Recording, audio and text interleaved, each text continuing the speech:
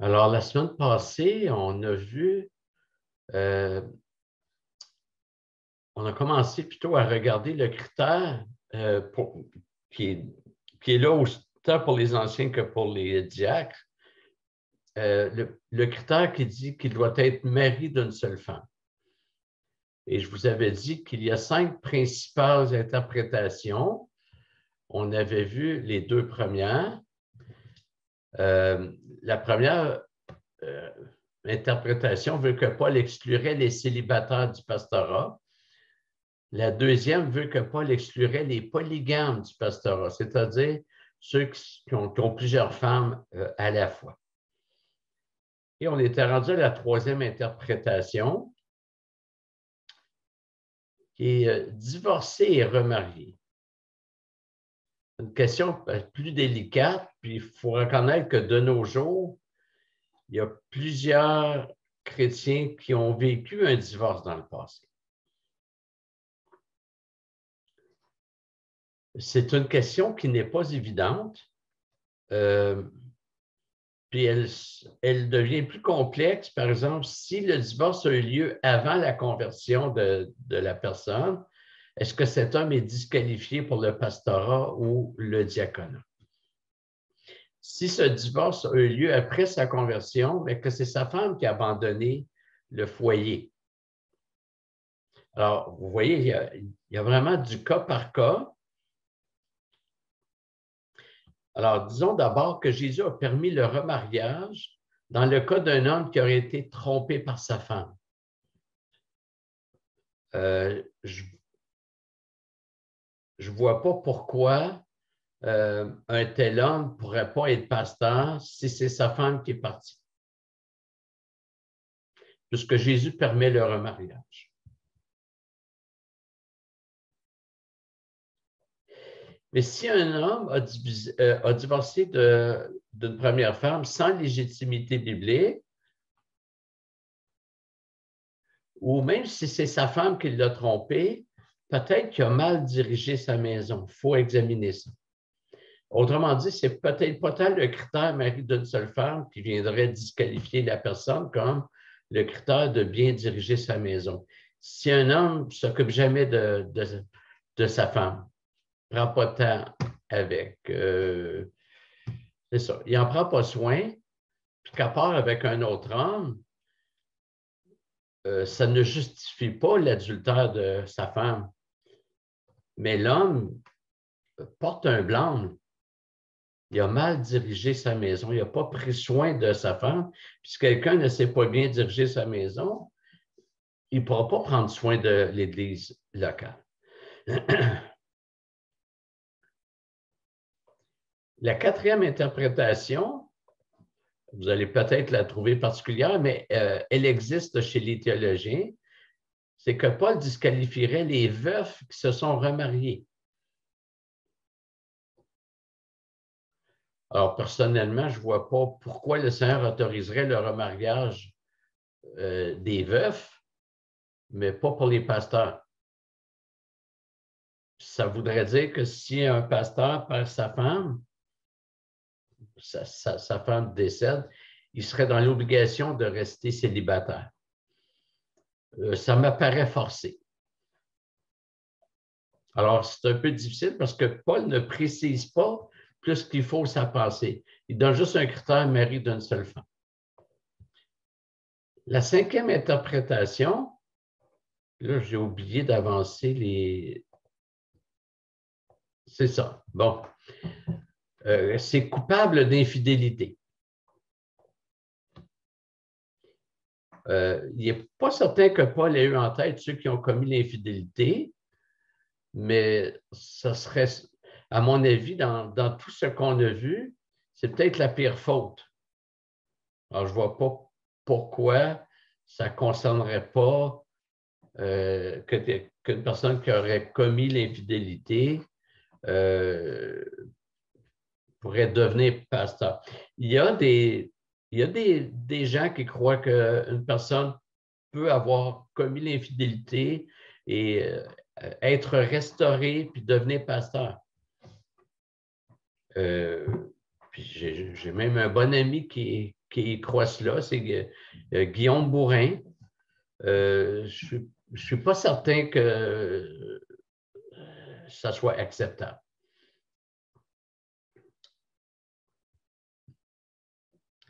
S'il a commis l'infidélité, il a mal dirigé sa maison. Euh, si on dit que, quelqu'un qui a commis l'infidélité peut être restauré, on pourrait dire la même chose pour les autres critères aussi, qu'il peut toujours être restauré. Euh, c'est ça.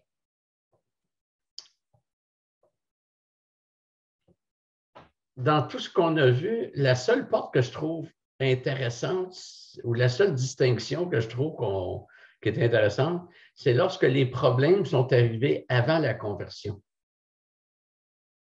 si un homme a, commis l'infidélité avant sa conversion, qu'après ça, il se convertit, sa femme se convertit, bien là, je pense qu'on doit reconnaître que ce qui est avant la conversion, on ne peut pas reprocher ça.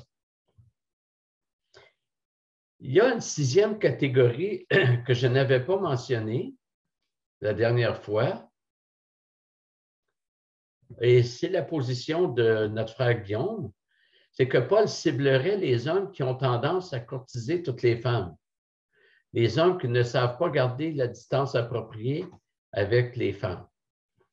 Et c'est vrai que ça serait problématique dans le pasteur.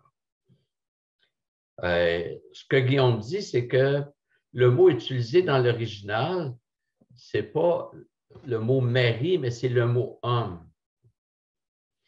Mais en fait, je, je, euh, un gros bémol à ça parce que le mot qui est utilisé, c'est aner ou andros, qui est, un est, une déclinaison de l'autre. Euh, il est très souvent utilisé dans la Bible pour parler du mari comme on avait vu que le mot qui est traduit par femme peut être traduit, par épouse. Donc, je ne trouve pas que c'est convaincant. Alors, en, conclusion, je dirais que ce n'est pas facile d'établir avec précision ce que Paul avait en tête, mais j'ai l'impression que si on combine ce critère-là avec l'idée de bien diriger sa maison, on devrait couvrir euh, suffisamment.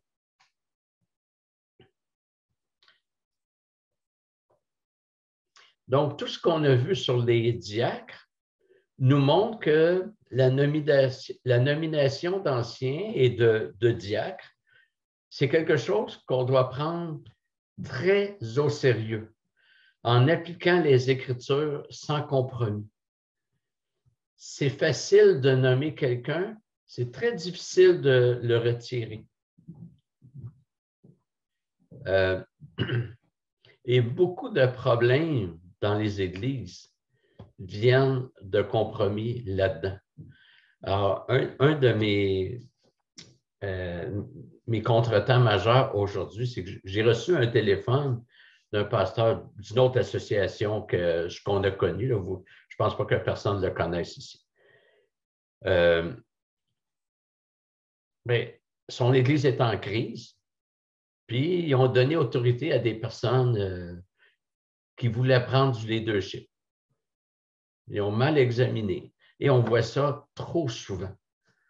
Hein, je vous ai déjà parlé que j'ai un ami qui est pasteur en France, puis euh, il, y a un ministère d'aider les églises en crise, puis il m'a dit que malheureusement, dans sa famille d'église, la majorité des pasteurs ne répondent pas aux qualifications.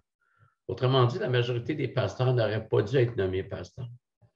Et pour les diacres, c'est la même chose.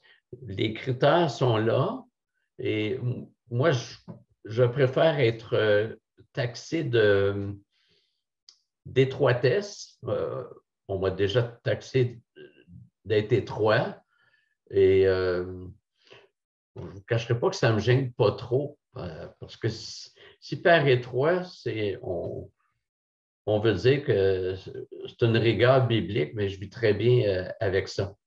Mais c'est important de ne pas, euh, pas diminuer les critères bibliques, autant pour les anciens que pour les diacres. Ils sont là pour nous protéger, pour protéger l'Église. Et si, si on n'en a pas, si, euh, ben, on, va fonctionner sans en avoir. même une Église qui se retrouve sans anciens, ben, elle ne doit pas en nommer euh, pour dire ça en prend un. Il faut en nommer si les hommes répondent aux, aux critères. Et toute la section sur les diacres, je vais la terminer sur le dernier point, c'est-à-dire comment on les établit. Euh, non, je suis désolé, je n'irai pas là, ça va être pour une prochaine fois. Je voulais consulter Dominique pour euh, ce point-là. Donc, euh, voilà, on va s'arrêter ici. Comme je vous avais dit, ça allait être bref et j'ai tenu parole. Alors, merci de votre attention.